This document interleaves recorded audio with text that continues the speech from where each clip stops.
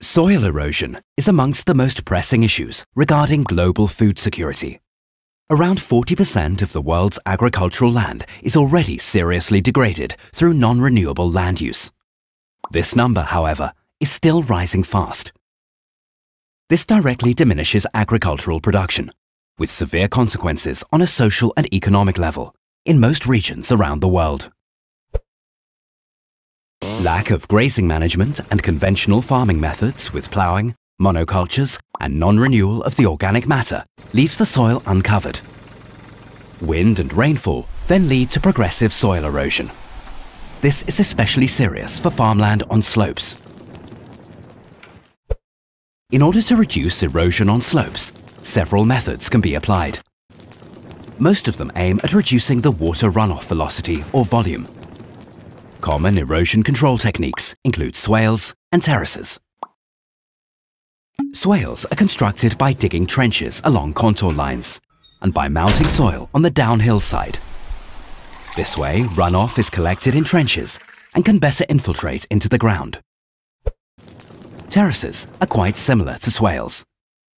They are constructed along the contour lines by reshaping the slope into multiple steps that are usually fortified with stones. The runoff is slowed down and has more time to infiltrate. Vegetation cover must be established from the beginning. Terraces and swales demand labour and constant maintenance.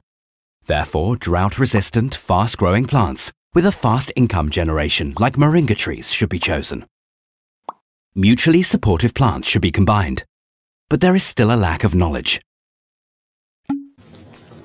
To build a living terrace, Tree rows are established along the contour lines of the slope. When they have grown to several meters in height, they are cut off and laid horizontally between the tree stumps in order to get a woven structure of vertical and horizontal elements. By choosing trees that are propagated by cuttings, the cut-off branches will form roots, where they have contact with the ground and sprout. This way, the whole structure will be alive, productive, long-lasting and more stable due to the roots. By converting erosion control techniques into a productive system, multiple benefits and positive synergies accumulate. These include soil restoration and agroforestry, which produce an extra income for farmers, making slope farming more sustainable and profitable.